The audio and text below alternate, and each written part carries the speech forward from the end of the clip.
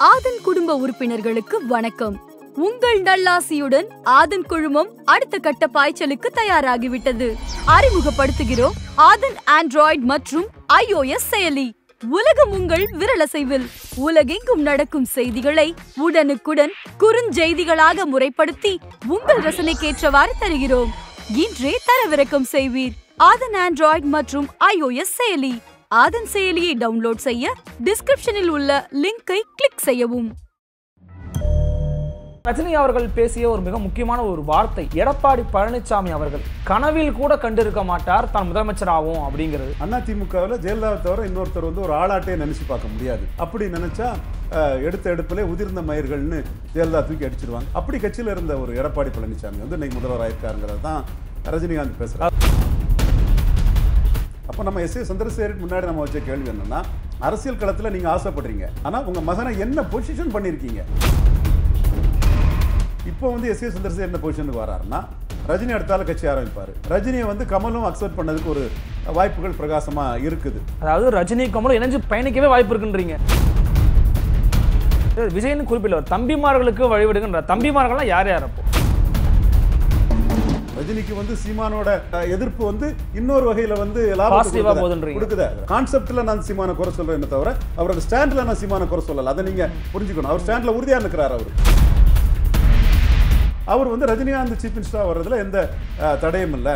Rajinikanth chief மினிஸ்டரா வந்தால்தான் நாளைக்கு தன் மகனுக்கு ஒரு வாய்ப்பு கிடைக்கும்னு தன் மகனை வந்து விஜய்க்கும் ஜெயலலிதாவுக்கும் சண்டை நடக்கும்போது கருணாநிதி என்ன சொன்னார்னா இது அவர்களுக்குள் உள்ளான சண்டை. விஜய் அவர்களை ஆதரித்தார். அவர்களுக்குள்ளான சண்டைன்னு சொல்லும்போது திமுக கேடர்ஸ் மத்தியிலும் திமுக ஓட்டர்ஸ் மத்தியிலும் விஜய் அந்நியப்பட்டு போனாரு.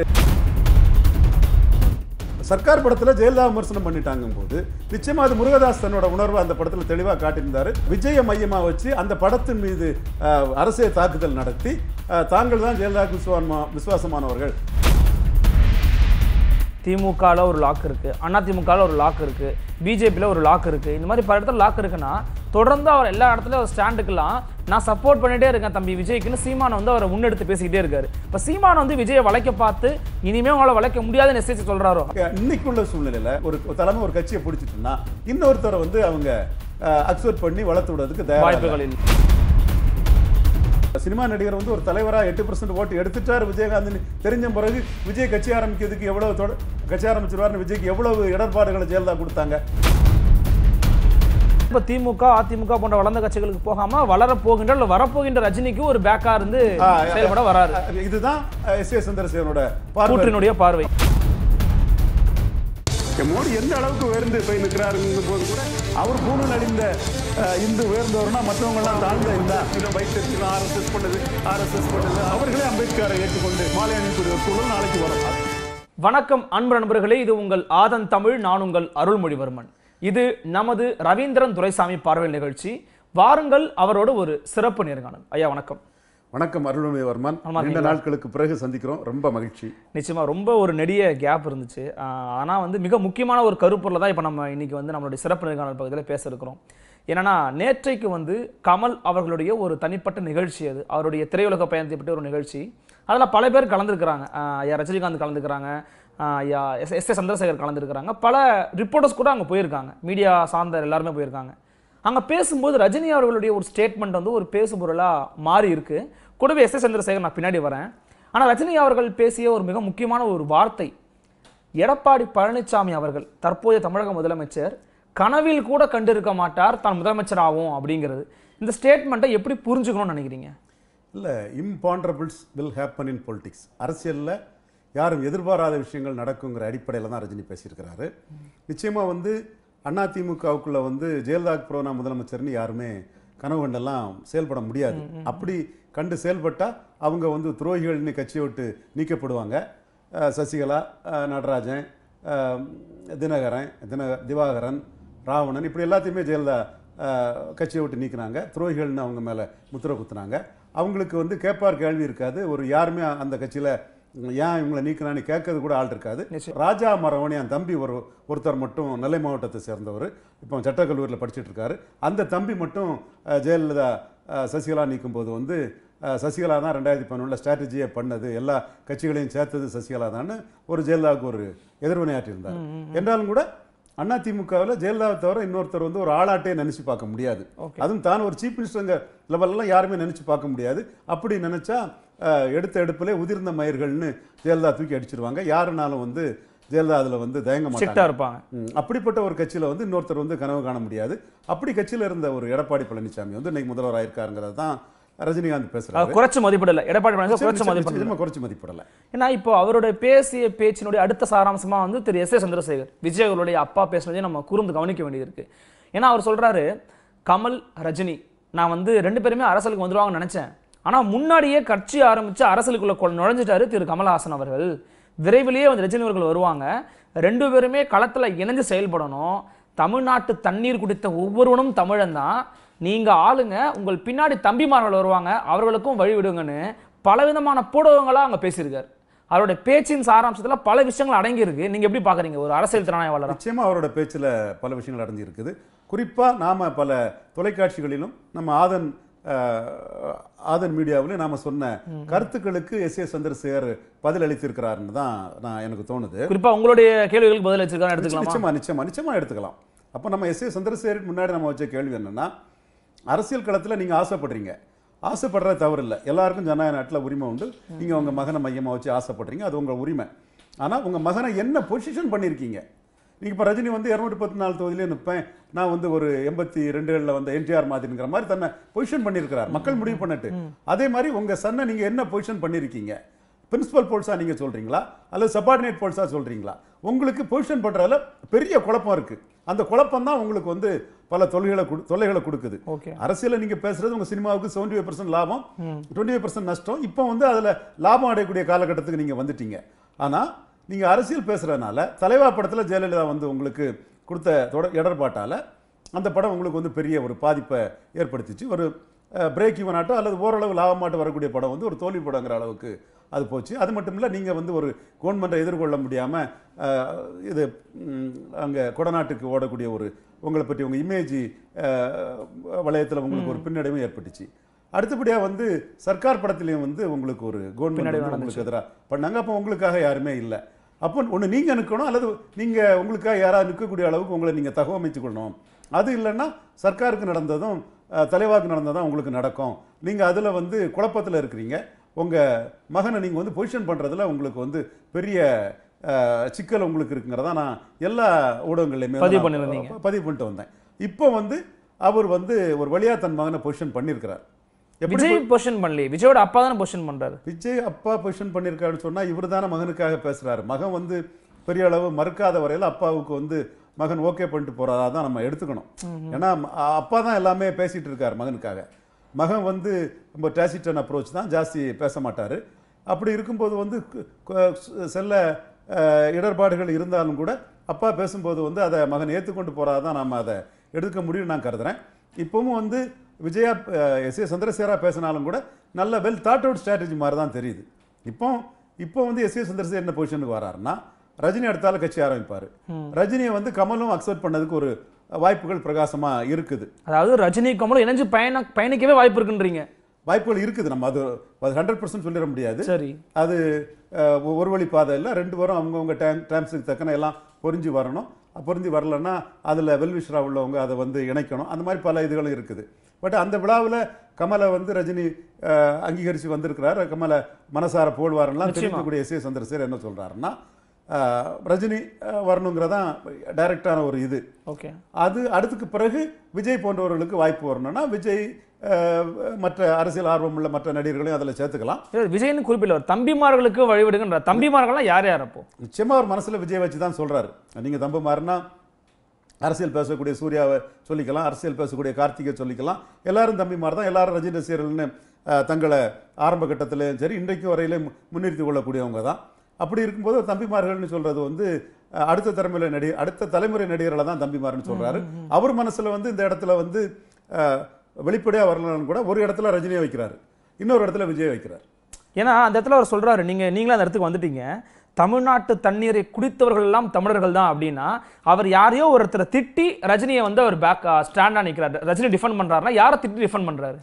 அதாவது சீமான் தான் ரஜினியை தமிழர் இல்லை தமிழர் அல்லாதாருங்க ஆட்சிக்கு வரக்கூடாதுங்கிறதெல்லாம் சீமான் தான் சொல்லிட்டு இருக்கிறாரு. அப்போ நானே பலமுறை சொல்லியிருக்கேன்.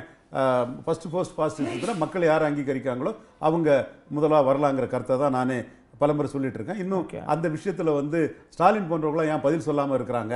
அப்படிங்கிற ஒரு கேள்வியையும் வந்து நான் கேட்டிருக்கிறேன். அது காரணம் என்னன்னா இவர் சீமான் சொல்றது ரஜினிக்கு ஒரு வகையிலையும் லாபம் தான். சீமான் என்ன சொல்றாரு? இங்க வந்து நாயுடு சீஃப் மினிஸ்டர் ஆகக்கூடாதுங்கிறாரு ரெட்டி சீஃப் மினிஸ்டர் ஆகக்கூடாதுங்கிறாரு தெலுங்கு செட்டியார் சீஃப் மினிஸ்டர் ஆகக்கூடாதுங்கிறாரு அஹ், பு- இங்கே வந்து அவர் தேவாங்கர் செட்டியார் கன்னடம் அவங்க சீஃப் மினிஸ்டர் ஆகக்கூடாங்கிறாரு ஒக்காலியா கவுடா சீஃப் மினிஸ்டர் ஆகக்கூடாதுங்கிறாரு அவர் வந்து இங்கே குடும்ப கோடா சீஃப் மினிஸ்டர் ஆகக்கூடாதுங்கிறாரு. இருபத்தி நாலு மணி தெலுங்கு செட்டியார் சீஃப் மினிஸ்டர் ஆகக்கூடாதுன்னு சொல்கிறாரு இவங்க வந்து வட இந்தியர்கள் இங்கே சீஃப் மினிஸ்டர் ஆகக்கூடாதுன்னு சொல்கிறாரு தெலுங்கு பிராமணர்கள் சீஃப் மினிஸ்டர் ஆகக்கூடாதுங்கிறாரு. இப்படி பிரமொழி பேசக்கூடியவங்க யாராக இருந்தாலும் இங்கே சீஃப் மினிஸ்டர் ஆகக்கூடாதுன்னு அவர் சொல்லும்போது இங்கே பிரமொழி பேசக்கூடியவங்களே பதினஞ்சு பர்சன்ட் இருக்காங்கல்ல அவங்களோட ஒரு இது வந்து அப்படி பிரமொழி பேசக்கூடிய ஒருத்தர் வந்து சீஃப் மினிஸ்டர் ப்ரொஜெக்ட் ஆகும்போது அவருக்கு கிடைக்கிது. ரஜினிக்கு வந்து சீமானோட அந்த ஒரு எதிர்ப்பு. எதிர்ப்பு வந்து இன்னொரு வகையில வந்து Positive-ஆ கொடுக்குது. ரஜினி சீமான் வந்து தமிழன் தான் சீஃப் மினிஸ்டர் வரணுங்கிற கருத்தியல் உள்ளவங்கள தன் பக்கம் இழுக்கிறதுக்கு எடுக்கிறாரு. அவரோட சித்தாந்தம் அது. அவர் சித்தாந்தத்தை எடுக்கிறார். அதுல ஸ்டெடியா இருக்கிறான் சீமானை வந்து வந்து கான்செப்ட்ல நான் சீமான குறை சொல்றேன்னு தவிர அவரோட ஸ்டாண்ட்ல நான் சீமான குறை சொல்லல. அதை நீங்க புரிஞ்சுக்கணும். அவர் ஸ்டாண்ட்ல உறுதியா நிற்கிறார் அவர். அந்த உறுதித்தன்மை வந்து மற்ற கட்சிகளுக்கோ மற்ற தலைவர்களுக்கோ இல்லைங்கிறனால தான் நான் அந்த சீமானுக்கு உறுதித்தன்மை பா- பாராட்டக்கூடியனா அஹ், ஸ்டாலினுக்கு ஸ்டாண்ட் இதுல என்னன்னு கேட்கிறேன் இல்ல அவங்க சொல்லியிருக்காங்களே கொள்கை ரீதியா சித்தாந்த ரீதியா அவங்க எதிர்ப்போம் அப்படின்னு தானே சொல்லியிருக்காங்க ரஜினி அரசியலுக்கு வந்த பிறகு. யார் யார் சொல்லியிருக்கா? திமுக சார்பில் இருந்து பல பேர் சொல்லியிருக்காங்க. என்ன சித்தாந்தங்கிற சொல்லலையே. அப்போ சீமான் வந்து வந்தாலும் வரலனாலும் வந்து எதிர்ப்போம் அப்படிங்கிற தமிழர் அல்லாத ஸ்டாண்ட்ல எடுக்கிறேன். அப்போ வந்து ஸ்டாலின் இப்பவே சொன்னா நான் சொல்லக்கூடிய இந்த பதினஞ்சு பர்சன்ட்டும் ரஜினிக்கு வந்து கம்முன்னு பேக்கிங் கம்யூனிட்டி ஓட்டா போயிருங்கிற அச்சும் ஸ்டாலினுக்கு இருக்குங்கிறதா இந்த இடத்துல நான் பார்க்கிறேன் ஆனா எஸ் ஏ சந்திரசிவோட பேச்சு வந்து முன்னாடி வந்து சீமானுக்கு கருத்தை என்டால்ஸ் பண்ற மாதிரி இருந்தது. அப்பவே வந்து கொஞ்சம் கொஞ்சம் இதான வார்த்தையால சொல்லியிருந்தேன். சீமான் வாந்தி எடுத்ததை எஸ் ஏ சுந்தரசேர் பேசுறாருங்கிற மாதிரி கூட நான் கொஞ்சம் கமாண்டு வந்து சொல்லியிருந்தீங்க. சொல்லியிருந்தேன். இப்ப இன்னைக்கு வந்து அவர் என்னோட பார்வையில வரும்போது பொதுவான பார்வை என்னோட பார்வையில தேசிய எண்ணம் கொண்ட ஒருத்தனோட ஒரு பார்வை. அஹ், நீங்க வந்து இதை நான் சொல்லும்போது வந்து அறுபத்தொன்பதுல வந்து கங்கை கொண்டான் கடாரம் வென்றான்னு சொல்லுவீங்களே இப்போ கேட்டு சொல்லுங்க. நான் ஒரு ரெட்டியாரை போட்டிருக்கிறேன். அவங்க ஒரு வேட்பாளர் போட்டிருக்காங்க. என்ன சொன்னான்னு சொல்லும்போது வந்து பெரியார்ட்ட காமராஜ் கேட்டாப்புல. அப்போ வந்து இவர் கருணாநிதி வந்து விவி கிரியை தான் ஆதரித்தார் அதற்கு பிறகு எம்ஜிஆர் கட்சி ஆரம்பித்த பிறகு கருணாநிதி சொன்னார் நானும் வரவிட்டாலும் பச்சை தமிழன் காமராஜர் வரணும்னு சொன்னார். அந்த சூழ்நிலையில் வந்து காமராஜர்கிட்ட வந்து ரிப்போர்ட்டர்ஸ் கேள்வி கேட்குறாங்க அப்போ காமராஜ் சொல்கிறார் இப்படி சொல்கிறேன் என்னங்க இவராக சொல்கிறது யார் சீஃப் மினிஸ்டர் வரணும்? மக்கள் யாருக்கு ஓட்டு போடுறாங்களோ அவங்க சீஃப் மினிஸ்டராக வரலாம்னு. மக்கள் யாருக்கு மெஜாரிட்டி கிடைச்சோ அவங்க சீஃப் மினிஸ்டர் வரலாங்கிற கருத்தை காமராஜ் சொன்னார். காமராஜ் கருத்தை தான் பண்றேன். காமராஜர் நேஷனலிஸ்ட் எஸ் எஸ் நானும் ஒரு நேஷனலிஸ்ட். ராஜாஜியும் அதான் சொல்லுவார் காமராஜும் அதான் சொல்லுவார். சீனிவாச ஐயங்காரும் அதான் சொல்லுவார். அவருக்கு மகன் கமலஹாசன் அதை சொல்லணுங்கிற கருத்தை கூட நான் பதிவு பண்ணியிருக்கிறேன். ஆனா இன்னைக்கு வந்து என்னோட அந்த கருத்தை ஒட்டி சந்திரசேகர் சொல்லும்போது சந்திரசேகரோட கருத்து வந்து எனக்கு மகிழ்ச்சி அளிக்கிறதுங்கிறத நான் மறுக்கல. நான் அன்னைக்கு சந்திரசேகர் விமர்சனம் பண்ணேன் நான் வந்து இன்னைக்கு சந்திரசேகரோட கருத்து வந்து நியாயமான கருத்து தான். அவர் வந்து குறிப்பா வந்து ரஜினிக்கு ஆதரவான அந்த கருத்தை அன்னைக்கு வந்து முன்வைக்கிறாரு. இந்த கருத்தை சொல்றது மூலமா அவர் வந்து ரஜினிகாந்த் சீஃப் மினிஸ்டரா வர்றதுல எந்த தடையும் இல்லை. ரஜினிகாந்த் சீஃப் மினிஸ்டரா வந்தால்தான் நாளைக்கு தன் மகனுக்கு ஒரு வாய்ப்பு கிடைக்கும்னு தன் மகனை வந்து ரஜினிக்கு ஆதரவான ஒரு இடத்துல பொசிஷன் Project இது. வந்து ரஜினி கட்சி ஆரம்பிக்கவும் இல்லை விஜய் அந்த கட்சியில சேரவும் இல்லை. அதுலலாம் so many ifs and buts எல்லாம் இருக்குது. என்றாலும் கூட ரஜினி கட்சி ஆரம்பிப்பாருக்கு ஒரு நம்பிக்கை இருக்கும்போது ரஜினி முதல்வராக வர வேண்டும் என்று பாசிட்டிவாக எஸ் ஏ சந்திரசேகரன் பொசிஷன் பண்றது. நாளைக்கு வந்து தன் மகனுக்கு வந்து ஒரு நடிகர் மீண்டும் வெற்றி பெற்றால்தான் இன்னொரு நடிகருக்கும் வந்து அந்த பார்வை கிடைக்கும் அந்த லுக் கிடைக்கும் என்ற அடிப்படையிலும். அதற்கு பிறகு நாம வந்து ஒரு நமக்கு ஒரு பாதை வந்து சரியா மகனுக்கு கிடைக்குங்கிற அடிப்படையில் தான் எஸ் ஏ சந்திரசேகர் பேசுறாரு. இதுவரை அவர் தன்னை பொசிஷன் பண்ண முடியாம இருந்தாரு. திமுகவில் இருந்தாங்க. திமுகவில் ஹவுஸ்ஃபுல் ஸ்டாலினோட கட்சியான்ட்டு ஆன பிறகு அவர் உதயநிதி ஸ்டாலினை தான் அங்கே முன்னிறுத்துவாரே தவிர விஜய்க்கு பெரிய சக்தினோ விஜயை தூக்கி நிறுத்தவே மாட்டாங்க. விஜய்க்கும் ஜெயலலிதாவுக்கும் சண்டை நடக்கும் போது கருணாநிதி என்ன சொன்னார்னா இது அவர்களுக்குள் உள்ளான சண்டை. விஜய் அவர்களை ஆதரித்தார். அவர்களுக்குள்ளான சண்டைன்னு சொல்லும்போது திமுக கேடர்ஸ் மத்தியிலும் திமுக ஓட்டர்ஸ் மத்தியிலும் விஜய் அந்நியப்பட்டு போனாரு. அண்ணாவை சொல்லி திமுக சொன்ன எஸ் ஏ இப்போ நம்ம கூட இல்லை. நம்ம வேற அவங்க வேற. அப்படிதான் சொன்னாப்புல. அதே மாதிரி பல பிரச்சனைகள் வந்து விஜய்க்கு வரும்போதும் திமுகவில் இருந்து விஜயை தள்ளி வைத்து வேறுபடுத்தி தான் ஸ்டாலின் வந்து கருத்து சொன்னது நம்ம தெளிவா சு- தெளிவா புரிஞ்சோம். அப்ப திமுகவில் வந்து இன்னைக்கு ஸ்டாலின் தரப்பு தனக்கு தங்களுக்கு பிறகு உதயநிதி வரணும்னா அது கனிமொழி வந்து அவங்க ஒரு மூணு சோஷியல் பேக்கிங் எல்லாம் ஏற்படுத்திக்கிட்டு மெதுவா வந்து அமைதியா வந்து அதை என்டூரன்ஸோட வார்த்தைகளை சொல்லாம பார்த்துட்டு இருக்கக்கூடிய ஒரு சூழ்நிலை இருக்கும்போது வந்து நிச்சயமா விஜய் போன்றவங்களுக்கு வந்து அங்க என்ட்ரன்ஸே கிடைக்கிறதே வந்து கஷ்டம். வாய்ப்பு இல்லை அடுத்தபடியா வந்து அதிமுகவில் வந்து அணில் உதவுன மாதிரி உதவுனாரு அப்படின்னு சொல்லி ஒரு என்ட்ரன்ஸ் அதிமுக கிடைக்கும் போது ஜெயலலிதா வந்து சட்டத்துக்கு புறம்பாக சட்டத்துக்கு புறம்பாக விஜய்க்கு பல நெருக்கடியெல்லாம் கொடுத்தாங்க. அப்பவே நம்ம கண்டிச்சோம் ஜெயலலிதாவை. ஆனா அஹ், விஜய் வந்து அந்த இடத்துல வந்து ஜெயலலிதா நெருக்கடி கொடுக்கும்போது கண்டிக்கிறதுக்கு பலம் இல்லாத ஒரு சூழ்நிலையில ஜெயலலிதாவை அ- அனுசரிச்சே அந்த பேச்சுகளையும் அமைதியா தான் இருந்தாரு. மிகப்பெரிய எதிர்ப்பை வெளிப்படுத்தல கொண்டு போனாரு.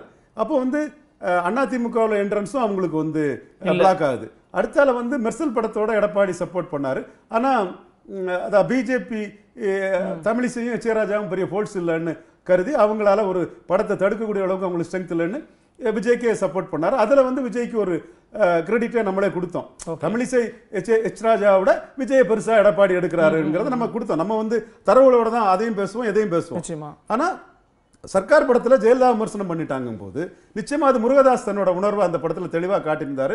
நான் இன்னும் பிகில் படத்தை பார்க்கல ஆனா அஹ், சர்க்கார் படத்தை பார்த்துட்டீங்க. மூ- மூணு தடவை பார்த்தேன். ஏன்னா அதுல ஒரு உணர்வையும் வரலாற்றையும் கரெக்டா சொல்லியிருந்தார் அந்த படத்துல. அப்போ அது திராவிட இயக்கத்தை சொன்னு சொல்லக்கூடியவங்களுக்கு அந்த உணர்வு வந்து பெரிய கஷ்டமா இருக்கும்போது அந்த படத்துக்கு வந்து ஜெயலலிதாவை அட்டாக் பண்ணிட்டாங்கன்னு வரும்போது வந்து விஜய மையமா வச்சு அந்த படத்தின் மீது அரசியல் தாக்குதல் நடத்தி தாங்கள் தான் ஜெயலலிதாவுக்கு விசுவாசமா விசுவாசமானவர்கள். தினகரன் தரப்பு இல்லைன்னு காட்டுறதுக்காக விஜய் படத்தை ஒரு டார்ஜெக்டாக வச்சு அடிச்சாங்க. விஜய் ரசிகர்கள் மீது வழக்கெல்லாம் போட்டாங்க. அப்போ விஜய்க்கு வந்து அதை எஃபெக்டிவாக எதிர்கொள்ள முடியாத ஒரு சூழ்நிலை வந்தது. ஆக என்ன பொசிஷனில் இருந்து என்ன யாரை எதிர்கொள்ளாங்கிறதுல வந்து ஒரு பெரிய பிரச்சனை அன்னைக்கு விஜய்க்கு இருந்தது. இன்னைக்கு வந்து விஜய்க்கு வந்து எஸ் ஏ சந்திரசேகர் வந்து ரஜினிகாந்தை ப்ரொமோட் பண்ணி ரஜினிக்கு ஆதரவான நிலைமை எடுக்கும்போது நாளைக்கு ஒரு விஜய்க்கு ஒரு தொல்லை கொடுத்தால் கூட ஐயோ தொல்லை கொடுத்தால் முழுமையாக ரஜினி பக்கம் போய் விஜய் நின்றுவாரு. அது நம்ம போட்டியாளர் பக்கம் விஜய் நின்றுவாரு. அதனால விஜயை கண்டும் காணாம போயிருவோம். விஜய்க்கு என்னமா ஜஸ்ட் லைக் தட்லாம் தொல்லை கொடுக்க முடியாதுங்கிற எண்ணம் வந்து ரஜினியின் போட்டியாளராக அரசியல் களத்தில் இருக்கக்கூடிய அரசாங்கம்னாலும் சரி எதிர்க்கட்சினாலும் சரி விஜய் விஷயத்துல வரும். இதுதான் பொசிஷனிங்கிறதுல வந்து முக்கியமான ஒண்ணு இது ஒண்ணு நீங்க உங்களுக்கு பலம் இருந்ததுன்னா பிரின்சிபலாட்டே ரஜினி. பொசிஷன் பண்ணியிருக்காருல. அந்த மாதிரி பொசிஷன் பண்ணியிருக்கணும். அல்லது வந்து எங்க உங்களுக்கு வந்து சபார்டினேட்டா பொசிஷன் கிடைக்குதோ அங்க பொசிஷன் பண்ணியிருக்கணும். பண்ணியிருக்கணும். ரெண்டு இடத்துலயும் உங்களுக்கு சபார்டினேட்டா பொசிஷன் பண்ண முடியல. ஜெயலலிதா வந்து ரெண்டாயிரத்தி பதினொன்றில் விஜய்க்கு இதை வந்து பயன்படுத்திட்டாங்க. எல்லா இருநூற்றி முப்பத்தி நாலு தொகுதியிலும் விஜய்க்கு படம் இருந்து டாக்டர் சேதுராம் படம் சரத்குமார் படம் கிருஷ்ணசாமி படம் ஜவஹர்லா படத்தோட நடிகர் விஜய்க்கு படமும் எல்லா இடத்துலையும் இருந்தது. ஒவ்வொரு கேம் செட்லையும் வந்து ஒரு இரநூறு முந்நூறு ரசிகர்கள் வந்து ஒர்க் பண்ணதை நம்மளாலே பார்க்க முடியும் ஒவ்வொரு ஒவ்வொரு சட்டமன்ற தொகுதிக்குள்ளே ஒரு ரசிகர்கள் ஒர்க் பண்ண பார்க்க முடிஞ்சு ஆனால் எலெக்ஷன் முடிஞ்சதும் ஜெயலலிதா ஒரு கருவேப்பிலை மாதிரி பயன்படுத்திட்டாங்க. எஸ். எஸ். சந்திரசேகர் வந்து அணில் மாதிரி உதவினாருங்கிறத ஜெயலலிதா வந்து அங்கீகரிக்கலாம். நம்ம கடுமையா பார்த்தோம். இப்போ எனக்கு இன்னொரு சந்தேகம் இருக்கு சார் இப்போ நீங்க பல இடத்துல சொல்றீங்க திமுகல ஒரு லாக் இருக்கு அதிமுகல ஒரு லாக் இருக்கு பிஜேபியில் ஒரு லாக் இருக்கு. இந்த மாதிரி பல இடத்துல லாக் இருக்குன்னா தொடர்ந்து அவர் எல்லா இடத்துலயும் அவர் ஸ்டாண்டுக்கெல்லாம் நான் சப்போர்ட் பண்ணிட்டே இருக்கேன் தம்பி விஜய்க்குன்னு சீமானை வந்து அவரை முன்னெடுத்து பேசிக்கிட்டே இருக்காரு. இப்போ சீமான வந்து விஜயை வளைக்க பார்த்து இனிமே உங்களால வளைக்க முடியாத மெசேஜ் சொல்றாரோ? அப்படி எடுத்துக்கலாமா? இல்ல நிச்சயமா வந்து சீமானை பொறுத்தவரை அதுல நஷ்டம் இல்ல. விஜய் இப்பெல்லாம் கட்சி ஆரம்பிக்க போறது இல்ல. அவர் தமிழ் ஸ்டாண்ட்ல இருக்கிறாரு. அதுல விஜயை சப்போர்ட் பண்ணாலும் சீமானுக்கு நஷ்டம் இல்ல. சூர்யாவை சப்போர்ட் பண்ணாலும் நஷ்டம் இல்ல. இந்த மாதிரி வந்து அவருக்கு அஹ், சிவகார்த்திகேயனை சப்போர்ட் பண்ணாலும் நஷ்டம் இல்ல. தமிழ் கதாநாயகர்கள் யாரை சப்போர்ட் பண்ணாலும் சீமானுக்கு நஷ்டம் இல்லை. அவரு அவர் லைன்ல அ- அரசியல்வாதியா தனக்கு அதுல என்ன லாபம் கிடைக்குங்கிற லெவல்ல அவரு போயிட்டு இருக்கிறாருங்கிறத அதை அதை பார்க்க முடியும். விஜயை பொறுத்தவரை இன்னொரு வரலாறு நம்ம என்ன பார்க்கணும்னா எம்ஜிஆர் வந்து வளருங்கட்சியில இருந்து வந்தார். வளருகிற கட்சி ஆமா. ஆமா. அண்ணா திமுக வந்து ஐம்பத்தி ஏழுல களத்துல உள்ள வரும்போது திமுகவுக்கு ஸ்ட்ரென்த் என்னன்னு நிச்சயமா அது பதினஞ்சு பர்சன்ட் ஸ்ட்ரென்த் எடுக்கும்போது மூன்று பேருக்கு தான் அதை நான் முக்கியமா கொடுக்குறேன். அண்ணா தலைமைக்கு மக்கள் திலகம் எம்ஜிஆருக்கு மிகப்பெரிய கசவ கதை வசனகர்த்தாவாக ராஜகுமாரி பராசக்தி வசனகர்த்தாவாக இருந்த திமுக தலைவராக திரும்ப வந்த மு. கருணாநிதி. மூணு பேருக்கு ஓட்டா தான் அந்த பதினஞ்சு நான் கொடுக்குறேன். அண்ணா அமாங் ஈக்குவல் மோர் ஈக்குவலா தலைவராக இருந்தாலும் கூட கருணாநிதிக்கு பாப்புலாட்டி எம்ஜிஆருக்கு பாப்புலாரிட்டி இருக்கு. சமூக காரணங்கள் வன்னியர் சமுதாயம் தான் அதிக ஓட்டு போட்டாங்க. காரணம் படையாச்சியும் நாயக்கரும் காங்கிரஸ்ல இணைஞ்சதுனால அந்த வன்னியர்கள் போட்டாங்க. அது வேற காரணங்கள். பட் அந்த அந்த வா- வாக்கு வங்கி வந்த தலைவர்கள் அபிமானிகள் மூணு பேரும் வந்துட்டாங்க. அப்ப எம்ஜிஆர் வந்து பதினஞ்சு பர்சன்ட் ஓட்டு எடுத்து ஆல்மோஸ்ட் மாற்று சக்தி திமுக வரும்போதே திமுகக்குள்ள வந்துட்டார். அது பிறகு ஒவ்வொரு கட்டமா வளர்றாரு. காமராஜன் தலைவர் அண்ணாயின் வழிகாட்டின்னு அண்ணாவை சேலஞ்ச் பண்ணி எம்எல்சி பதவியை ராஜினாமா பண்ணி பவர் பொலிட்டிக்ஸ் பண்றாரு. அப்போ அண்ணா என்ன நினைக்கிறாரு? நாம இருபத்தேழு பர்சன்ட் ஓட்டுக்கு மேல அறுபத்தி ரெண்டுல வந்துட்டோம். ஆட்சி அமைக்கக்கூடிய ஒரு வாய்ப்பு இருக்கு. அப்போ இவர் நமக்கு போட்டியாளராக வரப்போறதில்ல. இவரை இப்போ நம்ம கௌரவம் பார்த்து கட்சியை விட்டு நீக்கணும்னா இவரால ஒரு நாலஞ்சு பர்சன்ட் ஓட்டு பாதிக்கப்படும். நமக்கு வந்து அது பாதிப்பை கொடுக்குங்கிறனால பவர் பொலிட்டிக்ஸ்ல வந்து எம்ஜிஆர் அங்கீகரிச்சிடறாரு அண்ணா. அந்த அங்கீகாரம் தான் திரும்ப கருணாகிட்ட அஹ், சண்டை போடும்போது நான் தான் திமுகன்னு எம்ஜிஆர் அந்த அடுத்த கட்ட வளர்ச்சி பிறகு சொல்லதுக்கு ஒரு வாய்ப்பு கிடைச்சு.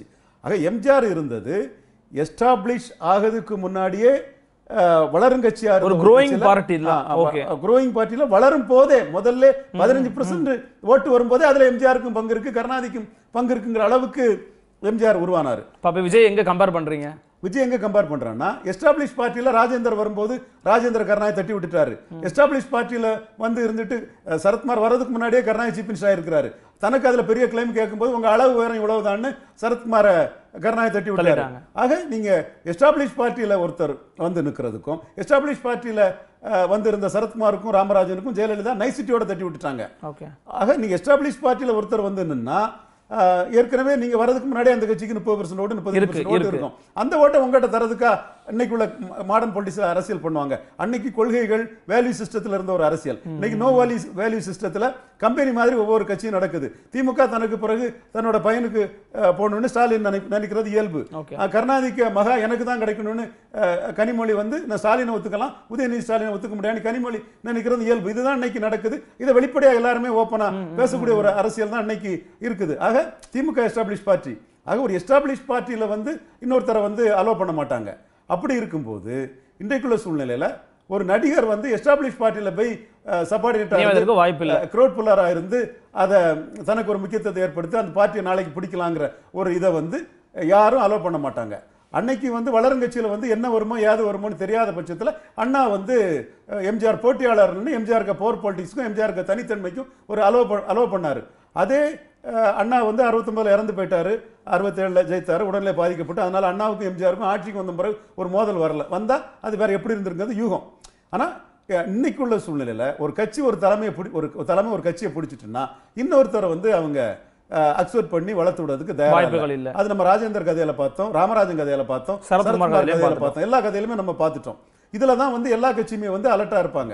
ஆக இன்னைக்கு வந்து ஒரு ஒரு தலைவர் வந்து சினிமா நடிகர் வந்து ஒரு தலைவராக எட்டு பர்சன்ட் ஓட்டு எடுத்துட்டார் விஜயகாந்த் தெரிஞ்ச பிறகு விஜய் கட்சி ஆரம்பிக்கிறதுக்கு எவ்வளவு தொட- கட்சி ஆரம்பிச்சிருவாருன்னு விஜய்க்கு எவ்வளவு இடர்பாடுகளை ஜெயலலிதா கொடுத்தாங்க. நிச்சயமா பார்க்க சட்டத்துக்கு புறம்பா தான் ஜெயலலிதா பண்ணாங்க. அது ஒண்ணு நம்ம ஜெயலலிதாவை நம்ம விமர்சனம் பண்ணாலே கொஞ்சம் பேர் பொங்கிட்டு வராங்க. அவங்களுக்கு கேட்குறேன் ஜெயலலிதா டம்மி பீஸ் ஜெயலலிதாவுக்கு ஒன்றும் தெரியாதுன்னு சசிகலா தான் எல்லாம்னு சொல்லும்போது நீங்களாம் இங்கே தானப்பா இருந்தீங்க? உயிரோடு தானப்பா இருந்தீங்க?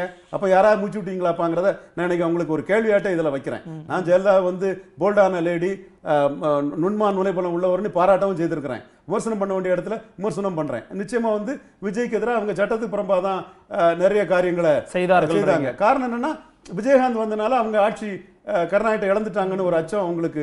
ரெண்டாயிரத்தி ஆறில் விஜயகாந்த் எட்டு பர்சன்ட் எடுக்கலன்னா நம்ம நாற்பது எட்டு நாற்பத்தெட்டு எடுத்திருப்போம். கர்நாடகா நாற்பத்தஞ்சில் தோத்திருப்பார். நம்ம ஆட்சியை பிடிச்சிருப்போங்கிற எண்ணம் ஜெயலலிதாவுக்கு மனசில் உண்டு. அப்போ விஜய் வந்து ஒரு நாலு பர்சன்ட் ஓட்டையோ அஞ்சு பர்சன்ட் ஓட்டையோ எத்தனை பர்சன்ட் வேணால் நீங்கள் வச்சுடுங்க. எடுத்துட்டாருன்னா நம்ம கருணாகிட்ட அது தோக்கக்கூடிய அளவுக்கு ஆயிடக்கூடாங்க விஜய்க்கு எல்லா நெருக்கடியும் கூட கொடுத்தாங்க. ஆக இன்னைக்கு வந்து எம்ஜிஆருக்கு வரலாறு எம்ஜிஆர் வரலாறுக்கு பிறகு தான் சிவாஜி கணேசனுக்கு நெருக்கடி கொடுத்தாங்க.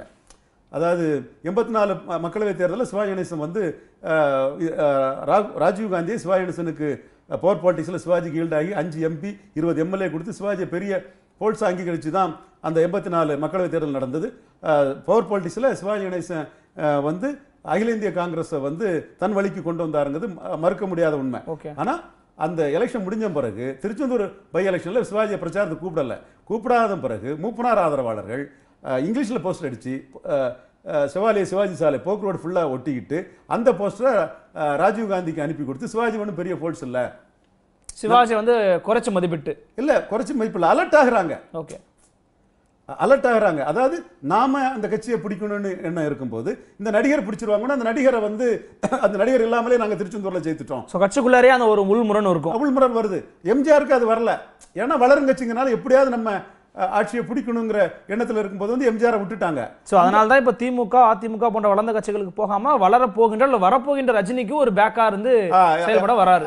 இதுதான் எஸ். ஏ. சந்திரசேகரனோட பார்வை. கூற்றினுடைய பார்வை. ரஜினியை பொறுத்தவரை எப்படி வெற்றி பெறணும்னு சொல்லும்போது இந்த ஒரு ஆதரவு வளையம் கிடைச்சதுன்னா அது வேண்டான்னு அவர் சொல்றது. வாய்ப்புகள் இல்ல. கட்சியில சேர்றாங்களா? அதுனா அது- அந்த மாதிரிக்குள்ள அளவுக்கு டீப்பா போக வேண்டிய அவசியம் இல்ல.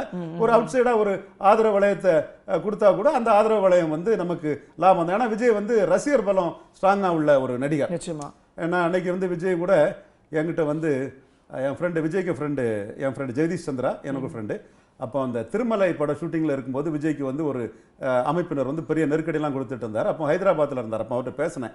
என்னோட சினிமா நாலேஜுக்கு விஜய்க்கு ஒரு அட்வைஸ் கொடுங்கன்னு அவருக்கு வெல்விஷரான என் நண்பர் ஜெகதீஷ் சொல்லும்போது பேசும்போது அப்போ கன்ஃபியூஸாக இருக்குது சார். என்ன ஆகும்னே தெரியலங்கிற மாதிரி விஜய் பேசினாப்புல. இல்லைங்க உங்களுக்கு மினிமம் கேரண்டி இருக்குது. ரஜினி மினிமம் கேரண்டி இருந்தனால தான் டாப்பில் வந்தார். அந்த மினிமம் கேரண்டி தான் ரஜினிக்கு பலம். அந்த எம்ஜிஆருக்கே மினிமம் கேரண்டி தான் பலம். ரஜினிக்கு மிகப்பெரிய மினிமம் கேரண்டி இருக்குது. அதுக்கு பிறகு இப்போ உள்ள நடிகர்களில் மினிமம் கேரண்டி வசூல் வந்து உங்களுக்கு இருக்கு. அதனால உங்களுக்கு எந்த அளவும் பின்னடைவு வராது. விஜய் கிட்டே பேசிருந்தீங்க. மினிமம் கேரண்டியை நீங்க வந்து மெயின்டைன் பண்ணிட்டு போனா கூட பெரிய வெற்றி வரும்போது அடுத்த நாள் நீங்க பாத்துக்கலாங்கிறது வந்து திருமலை ஷூட்டிங்ல ஹைதராபாத்ல இருக்கும்போது பேசியிருந்தேன். அப்போ விஜய் வந்து மினிமம் கேரண்டியை கொடுக்கக்கூடிய அளவுக்கு பலமான ரசிகர் பலம் உள்ள ஒரு நடிகரா இருக்கிறாரு. அவரோட தந்தை வந்து இன்னைக்கு நாளைக்கு அரசியல் களத்துக்கு வரக்கூடிய ரஜினிக்கு ஆதரவா பேசியிருக்கிறது வந்து ரஜினிக்கும் ஒரு ப்ளஸ் தான். சோ தந்தையும் மகனும் சேர்ந்து தான் வந்து இந்த அரசியல் காலத்துல வருவதற்கான முயற்சிகள் எடுக்கிறாங்கன்றத அவங்களுடைய பார்வை வந்து எடுத்துக்க முடியுது. நிச்சயமா என்னோட கருத்து பொசிஷன் பண்றதுல அவங்க சிரமப்பட்டாங்க. ஓகே அப்ப இன்னைக்கு பொசிஷன் பண்றதுல சிரமப்பட்டாங்கன்னா பொசிஷன் பண்ண முடியாம திணறினாங்க. அதான் உண்மை. ஒரு என்ட்ரி பாயிண்ட் வேணும்ல. அன்னைக்கு எம்ஜிஆர் வந்து 57 என்ட்ரி பண்ணிட்டாரு. சிவாயனிசன் ஒரு வெற்றி பிரச்சாரம் பண்ணதும் வெளியே தள்ளதுக்கு மூப்பனார் குரூப் எவ்வளவுக்குள்ள வேலை பார்த்தது. விஜயகாந்த் எட்டு பர்சன்ட் ஓட்டு எடுத்ததும் விஜயகாந்த் எடுக்கும்போது ஜெயலலிதா சிங்கம் மாதிரிலாம் சொல்லி ஜெயலலிதாக்கு ஆதரவா பேசுனதுனால ஜெயலலிதா அலோவ் பண்ணிட்டாங்க. அது வந்து எட்டு பர்சன்ட் எடுத்தது. ஜெயலலிதாவுக்கு நஷ்டமாயி ஜெயலலிதா கருப்பு எம்ஜிஆர்னு ஜெயலலிதாவுக்கு வந்து மதுரை மத்தி மதுரை மேற்கெல்லாம் கடைசியில் விஜயகாந்துக்கே சீட்டு கொடுத்தானே ஜெயலலிதா கருணாநிதியை வீழ்த்தக்கூடிய லெவலுக்கு ஜெயலலிதா வந்தாங்க. அப்போ இன்னொரு போல்ஸை வளர விடக்கூடாதுன்னு விஜய்க்கே நெருக்கடி கொடுத்தாங்க. எம்ஜிஆருக்கு வெற்றி சிவாஜிக்கு நெருக்கடியை கொடுத்தது. விஜயகாந்தினுடைய வெற்றி விஜய்க்கு விஜய் கொடுத்தது. அப்போ ஒரு நடிகரை வந்து கட்சியிலையும் சேர்த்து குரோட் புல்லரை வச்சு வேடிக்கை பார்க்கறதுக்கு எந்த தலைமையும் தயார் இல்ல ஒரு நடிகர் கட்சி ஆரம்பிச்சாலும் தொல்லை கொடுக்கறதுக்கு கட்சி அரசியல் கட்சிகள் தயாரா இருக்கின்ற சூழ்நிலை தான் இன்னைக்கு இருக்குது. ரஜினி பெரிய ஸ்டேச்சர்ல இருக்கிறதுனால பிரைம் மினிஸ்டர் வீடு தேடி வந்து பிரைம் மினிஸ்டர் கேண்டிடேட்டை வீடு தேடி வந்து பார்க்கக்கூடிய நிலைமை இருக்கனால ரஜினிக்கு வந்து தொல்லை கொடுக்கறதுல வந்து யோசிக்கிறாங்க. எப்படி தொல்லை கொடுத்தா உடனே வருவார்? நமக்கு அது நெருக்கடிங்கனால. ரஜினியை வந்து அந்த ஸ்டேச்சர் பெருசுங்கிறனால மென்மையான போக்கு. மென்மையான போக்கு எடுக்கிறாங்க. விஜய் போன்றவங்கலாம் வந்து கட்சி ஆரம்பிக்கிறோன்னு எல்லாம் வேகமா போனாங்கன்னா நெருக்கடி கொடுப்பாங்க. அந்த நெருக்கடியை வந்து விஜயால தாங்கிக்க முடியுமா? அதுக்குள்ள சக்தி இருக்காங்கிறது வந்து மிகப்பெரிய கேள்விக்குறி. அதுதான் தன் நிறைவாக வரும் வரை மறைவாக இருன்னு சொல்லலாம். தன் வலியும் துணை வலியும் மாற்றாம் வலியும் தூக்கி செயல்னு சொல்லலாம். அந்த மாதிரி ஒரு ஒரு ஸ்ட்ராட்டஜிக்கல் கிளாரிட்டி இல்லாம விஜய் வந்து மாட்டிக்கிட்ட இடம் தலைவாவும் இது சர்க்கார். அவரால் ஒன்றும் எதிர்வினை ஆற்ற முடியல. சட்டத்துக்கு புறம்பாக தான் அரசாங்கம் விஜய் மேல நடவடிக்கை எடுத்து. அப்போ இன்னைக்கு வந்து சூழ்நிலைகளை பார்த்துக்கிட்டு எல்லாருமே ரொம்ப அலர்ட்டா இருப்பாங்கங்கிறதெல்லாம் பார்த்துக்கிட்டு அஹ், கடைசியா வந்து ரஜினிக்கு ஆதரவான ஒரு நிலைப்பாட்டை எஸ் ஏ சந்திரசேகர் எடுத்திருக்காரு நான் பார்க்குறேன். இந்த நிலைப்பாடு வந்து ஒரு மாசத்துக்கு முன்னால டாக்டர் ராமதாஸ் கூட பிரசாந்த் கிஷோர் விட்ட ரஜினி காத்து நிற்கிறாருங்கிற மாதிரி ஒரு சொல்லியிருந்தார். இப்போ அதே டாக்டர் ராமதாஸ் வந்து ரஜினியை ஒரு ஆப்ஷனாக கருதி ரஜினிக்கு ஒரு வாழ்த்துக்களை சொல்கிறாரு அதே மாதிரி தான் எஸ் ஏ சந்திரசேகரும் ஒரு மாதத்துக்கு முன்னாடி ரஜினியை விமர்சனம் பண்ணுறதும் முன்னாடி பண்ணதையும் வந்து நம்ம பெருசாக எடுத்துக்காண்டாம். இன்னைக்குள்ள லெவலில் தமிழ்நாட்டிலோட தண்ணியை குடித்து வளர்ந்தவங்களாம் தமிழன்னு ரஜினியை என்டால்ஸ் பண்றாரு. அடுத்தால தமிழ் ரஜினிகாந்த் முதலமைச்சராக வர்றதுக்கான வாய்ப்புகள் வந்து தனக்கும் எதிர்காலத்தில் தன்னை சார்ந்த தன் மகனுக்கும் நல்லதுங்கிற எண்ணத்தில் வந்திருக்கிறாரு. இன்னைக்கு அவருக்கு ஒரு ரீதிங்கிங் வந்திருக்குது. இது வந்து என்ன பொறுத்த அளவுல நான் பலமுறை சொன்ன மாதிரி அவர் பொசிஷன் பண்ண தெரியாம திணறாங்கிற மாதிரி ஓரளவு position பண்ணியிருக்காரு. பண்ணியிருக்காருன்னு நான் கருதுறேன். இப்போ இறுதியா ஒரு கேள்விங்க ஒரு வெகுஜன மக்கள்கிட்ட இருந்து ஒரு கேள்வியா நீங்க இதை பார்க்கலாம். என்னன்னா இப்போ அவர் பேசும்போது எஸ்எஸ்சி சொல்லும்போது சொல்லியிருக்காரு ஆண்ட அரசியலுக்கு வந்து திரைப்படத்துக்கு பல பேர் வந்திருக்கீங்க. இப்போ வரவும் போறீங்க. இப்போ நீங்களே கூட குறிப்பிட்டிருந்தீங்க. தம்பிமார்கள்லாம் அவர் குறிப்பிடுறது தம்பி விஜயாக இருக்கலாம் தம்பி சூர்யாவாக இருக்கலாம் கார்த்திகாக இருக்கலாம் நீங்களே கூட சொல்லியிருந்தீங்க. ஒரு வெகுஜன மக்கள் பார்வையில தொடர்ந்து திரைப்படத்துல பார்க்குறவங்கன்னா தரையில ஆட்சி செய்வாங்க அப்படின்ற பார்வை சரியா? இதை அந்த மாதிரி ஒரு சமூகம் வந்து இப்படி செயல்படுறது சரின்னு நினைக்கிறீங்களா நீங்க? இல்ல சரியா தவறாங்கிறது வந்து ஜனநாயகத்துல மக்கள் தான் எஜமானர். ஃபர்ஸ்ட் போஸ்ட் பாசிசத்துல மக்கள் என்ன முடிவெடுக்காங்களோ அந்த முடிவு தான் இறுதியானது. இல்ல அப்ப தொடர்ந்து மக்களுக்காக களத்துல பணியாற்றுறவங்க உரிமை குரல் கொடுக்கறவங்க போராடுபவர்கள் வாழ்வியல் சிக்கல்களுக்காக குரல் கொடுக்கறவங்களுடைய குரல் வலைலாம் நெருக்கப்பட்டுரும்ல? இல்லையே பெரும்பான்மை மக்கள் ஆதரவு பெறக்கூடிய நடிகர் இருந்தா கூட வாழ்வியல் சிக்கலுக்காக போராடுகளின் கருத்துக்களை உள்வாங்கி தான் அதை வர முடியுமே தவிர மக்கள் விருப்பத்துக்கு எதிராகவும் மக்கள் எண்ணத்துக்கு எதிராகவும் யாருமே வந்துட முடியாது. அதுதான் மக்களுடைய வாழ் சிக்கலுக்கு பேசக்கூடிய ஆளா தான் வரவே முடியுன்றீங்க. நிச்சயமா அதனால தான் பிறக்கும்போது யாரும் வாக்கு வங்கியோட பிறக்கல எம்ஜிஆர் பிறக்கும்போது ஓட் பேங்கோட பிறக்கல என்டிஆர் பிறக்கும்போது ஓட் பேங்கோட பிறக்கல ரஜினிகாந்த் பிறக்கும்போதும் ஓட் பேங்கோட பிறக்கல. ரஜினி மக்கள் உணர்வை புரிஞ்சு மக்களின் தேவைகளை அறிஞ்சு மக்கள் எதை எதிர்பார்க்கறாங்க மக்களுக்கு இங்க என்ன குறைகள் இருக்குது மக்களுக்கு என்ன என்ன தேவை மக்கள் எந்த வகையில் மக்கள் ஏமாற்றப்படுகிறார்கள் அதெல்லாம் புரிஞ்சு தெரிஞ்சு வந்தாதான் மக்கள் உணர்வை தெரிஞ்சு வந்தாதான் ஒரு தலைவர் வெற்றி பெற முடியும். அதனால நீங்க மக்கள் உணர்வு உங்க சொல்- உங்களுடைய அடிப்படையில் நீங்க சொல்லக்கூடிய போராளிகள் போராட்டம் எல்லாமே மக்கள் உணர்வுக்குள்ள அடங்கும். மக்கள் உணர்வை தெரிந்த ஒரு தலைவரால் தான் வெற்றி பெற முடியும். நிச்சயமா நடிகராக மட்டும் இல்லாமல் ஒரு மக்கள் சார்ந்த ஒரு உணர்வாளராக இருந்தால் தான் வெற்றி பெற முடியும்னு ஒரு மிக முக்கியமான ஒரு பதிவையும் சொல்லியிருக்கீங்க. தொடர்ந்து பலவிதமான விஷயங்களை ஷேர் பண்ணிருக்கீங்க சார் உங்களுடைய வருகைக்கும் கருத்து பெருக்கும் மிக்க நன்றி. மிக்க நன்றி. நன்றி நண்பர்களே மீண்டும் ஒரு ரவீந்திரன் துரைசாமி பார்வை நிகழ்ச்சியில் மற்றும் ஒரு தலைப்பில் சந்திக்கலாம். அதுவரை உங்களிடமிருந்து விடைபெறுவது உங்கள் அருள்மொழிவர்மன். இணைந்திருங்கள் இது உங்கள் ஆதன் தமிழ்.